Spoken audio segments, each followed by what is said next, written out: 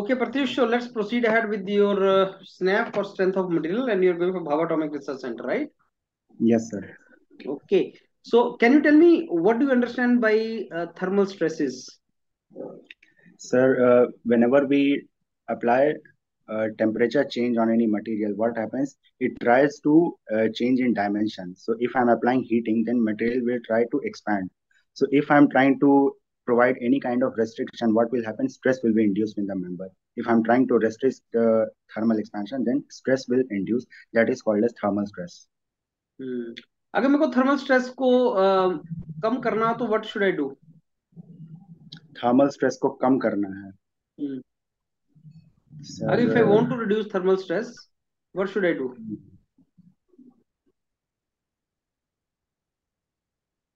thermal stress sir हमें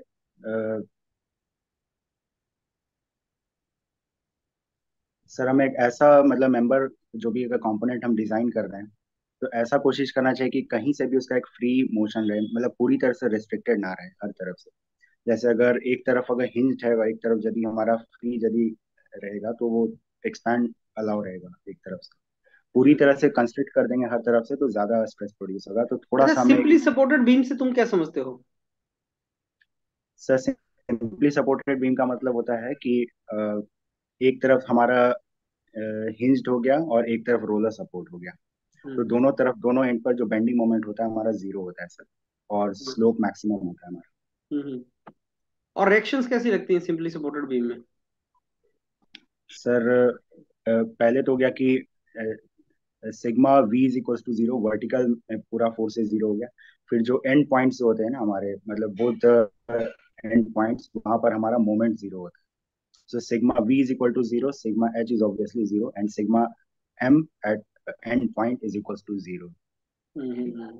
okay pratyush now uh, tell me अगर मैं आपको सेमी सर्कल दे दूँ अच्छा अब बोलूँ ये शेयर फोर्स डायग्राम है तो कौन सी लोडिंग के लिए होगा अच्छा एक सेकंड सर मैं सोचता हूँ semi circle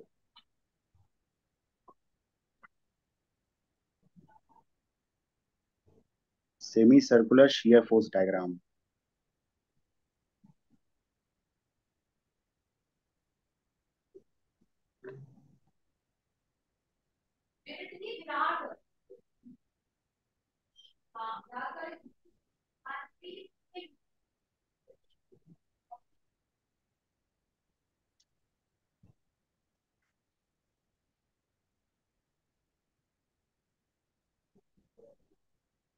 sir ये तो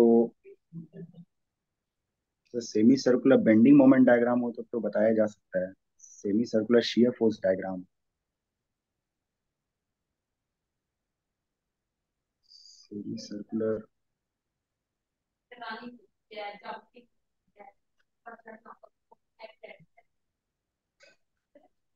sir ये तो मुझे लग रहा है ट्रायंगुलर लोडिंग होना चाहिए सर। ट्रायंगुलर अच्छा अगर ये बीएमडी हो तो? हाँ बीएमडी तब तो आसान हो जाएगा। सर बीएमडी अगर सेमी सर्कुलर बन रहा है इसका मतलब कि सिंपली सपोर्टेड बीम है उस पर यूडीएल लगा दिया हमने। तो यूडीएल लगा देंगे तो ऐसा आर्च जैसा बनता हुआ आ जाएगा हमारा। और वो सर्कुलर नहीं होगा सर्कुलर कहना ठीक नहीं होगा पैराबोलिक जैसा वो आर्च बन जाएगा हमारा। अगर सर्कुलर करना हो तो क्या करना पड़ेगा? Bending exactly. जाओ और मेरे को बताओ सर्कुलर कब बनेगा बीएमडी बीएमडी सर्कुलर अच्छा सर एक सेकंड में ट्राई करता हूँ sir. many moments here.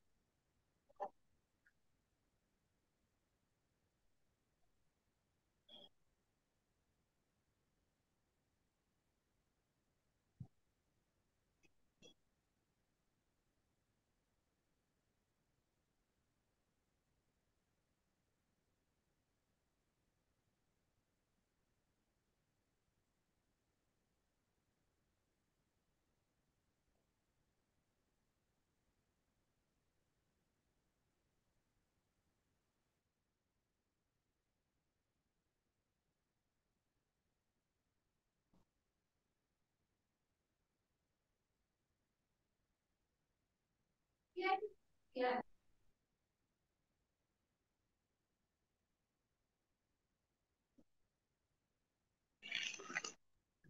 Yeah, sorry sir I am not able to figure out कि bending moment circular shape BMD कब बनेगा? अच्छा बेंडिंग तो मोमेंट इक्वेशन जानते हैं? बेंडिंग सिंपल बेंडिंग इक्वेशन क्या है? Yes sir it's sigma by y is equals to m by i is equals to e by r. What is R is the radius of curvature of the beam अच्छा semi circle अगर बनता है तो radius of curvature क्या होगा? Semi circle क्या beam अगर semi circular shape बन रहा है तो? हाँ अगर बीम सेमी सर्कल बन रहा है तो उसका हाँ, तो रेडियस आर कैसा रहेगा? सर तो वो ई आई बाय एम हो गया। अगर मतलब अगर कांस्टेंट बेंडिंग मोमेंट होगा तो वो परफेक्ट सर्कुलर की तरह वो बनेगा। हाँ तो सर। कैसे बनेगा constant bending moment constant bending moment okay एक एग्जांपल ले लेते हैं हम। कैंटिलीवर का मोमेंट लगा दिया एंड पॉइंट पे और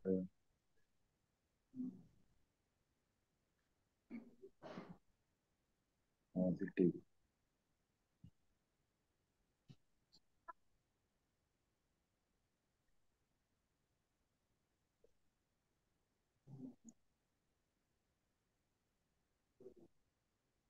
ऐसा बनेगा सर एक कैंटिलीवर बीम पे हमने प्योर मोमेंट लगाया है तो पॉजिटिव बेंडिंग मोमेंट आया हमारा कांस्टेंट और एकदम एग्जैक्टली सर्कुलर शेप का ये हमारा बीम बन जाएगा सर ओके प्रत्युष आपने थ्योरीज ऑफ़ फेलियर के बारे में सुना होगा? यस सर कितनी होती हैं? सर मेनली तो सर फाइव होते हैं सर जो सबसे मेन जो होते हैं। हम्म। और डक्टाइल के लिए कौन सी यूज़ करते हैं? डक्टाइल के लिए sir shear stress theory maximum shear stress theory जिसको गेस्ट स्ट्रेस का थ्योरी भी बोलते हैं वो अच्छा रहेगा। फिर वन माइनस स्ट्रेस भी अच्छा है फिर मैक्सिमम स्ट्रेन एनर्जी थ्योरी भी डक्टाइल के लिए ही होता है। हम्म। और आप ब्रिटल के लिए? ब्रिटल के लिए सर रैंकाइंस थ्योरी अच्छा रहेगा sir maximum principal stress theory और सेंट वेनांड भी ब्रिटल के लिए होता है लेकिन बहुत रेयर होता है mainly maximum principal stress theory mainly हम लोग यूज़ करते हैं ब्रिटल मटेरियल्स के लिए। फैक्टर ऑफ़ सेफ्टी क्या होता है? Sir factor of safety is defined as the maximum stress at which the material will fail divided by the allowable stress. So basically, we use factor of safety for uh, design safety purpose only. हम्म, कितना होता है normally factor of safety sir depend करता है ductile material या brittle अगर ductile material तो हम लोग फैक्टर ऑफ़ सेफ्टी कम ही लेते हैं। ब्रिटल मटेरियल के के लिए थोड़ा ज़्यादा होता है क्योंकि ब्रिटल मटेरियल पे जब भी हम फोर्स लगाते हैं ना तो वो फेल होने से पहले कोई वार्निंग नहीं देता। है अचानक से वो सडन फ्रैक्चर हो जाता है। तो इसमें ज़्यादा खतरा होता है, इसलिए फैक्टर ऑफ़ सेफ्टी ज़्यादा लेते हैं। डक्टाइल में थोड़ा वार्निंग देता है ना कि वो यील्ड क्रॉस कर रहा है ऐसा तो उसमें ज़्यादा हमें फैक्टर ऑफ़ सेफ्टी की ज़रूरत नहीं होती। ब्रिटल में बहुत ज़्यादा लेना पड़ता है। Okay okay Pratyush let me give you the feedback now Pratyush देखो तुम्हारा लेवल अच्छा है मतलब तुम स्ट्रेंथ ऑफ़ मटेरियल पढ़ के आए हो लेकिन वो बीएआरसी में क्या ना डेप्थ में चलता जाएगा। यस सर ज़्यादा डेप्थ बढ़ाता जाएगा और तुम्हारा थिंकिंग चेक करेगा। जैसे सेमी सर्कल में मैं एक्सपेक्ट कर रहा था तुम बोलोगे बेंडिंग इक्वेशन में रेडियस ऑफ़ कर्वेचर की बात करोगे। लेकिन तुम बेंडिंग इक्वेशन में जब गए भी तो तुमने रेडियस ऑफ़ कर्वेचर की बात नहीं की। कि सर एक सेमी सर्कल के लिए रेडियस ऑफ़ कर्वेचर कांस्टेंट होता है जिसके लिए M over E I constant होना चाहिए।